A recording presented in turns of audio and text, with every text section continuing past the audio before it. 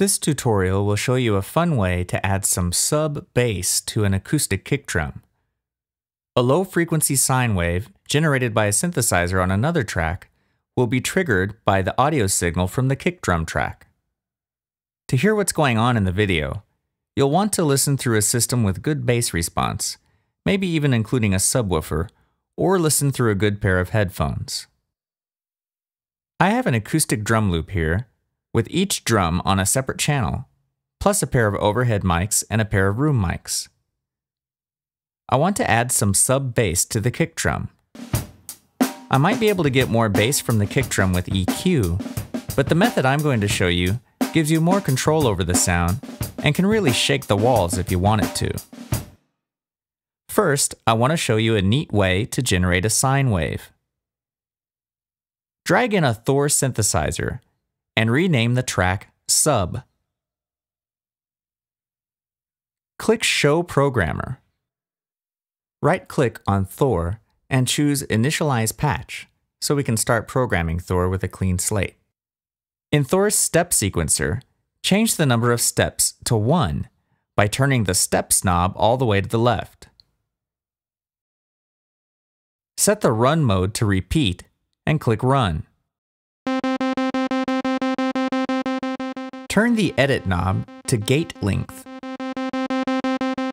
and turn the gate length all the way up for step 1.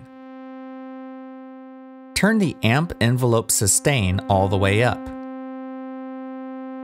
Turn oscillator 1 off. We don't need it. Turn the envelope and velocity knobs all the way down on the filter and note that the self oscillation light must be on for this trick to work. When you do this at home, remember to turn down the volume on your headphones or speakers before this next step, because it could get a bit loud. Turn the resonance knob all the way up, and you've got a sine wave.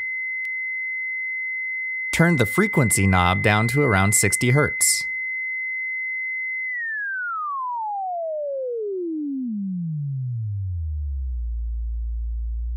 If you like it lower, you can go down as low as 40 Hz but for this demo I'm sticking with 60 Hz. Fold Thor and click the Tab key to flip the rack around. Unfold the sub mix channel and the kick audio track and click Show Insert Effects for the kick track. Connect the left to device output from the kick track to the left dynamic sidechain input of the subchannel. Click F5 to show the mixer. On the subchannel, activate the gate and turn the range knob all the way up.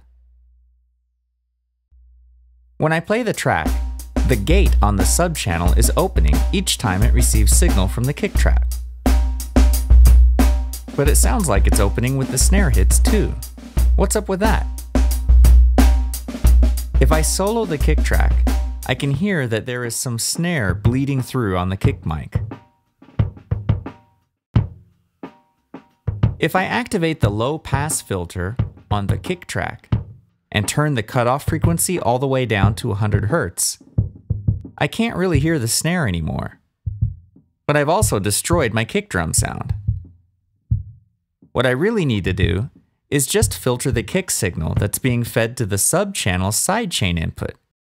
I can do that by clicking the Filters to Dynamic Sidechain button on the sub-channel, activating that channel's low-pass filter, and turning the cutoff frequency all the way down. Now the gate is only opening on the bass drum kicks, and not on the snare hits. I can control the tightness or the ringiness of the subkick with the release control for the gate.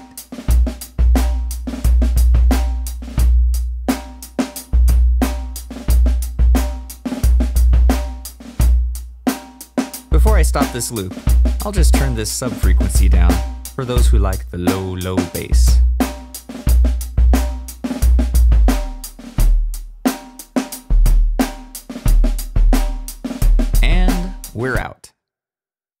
See you next time.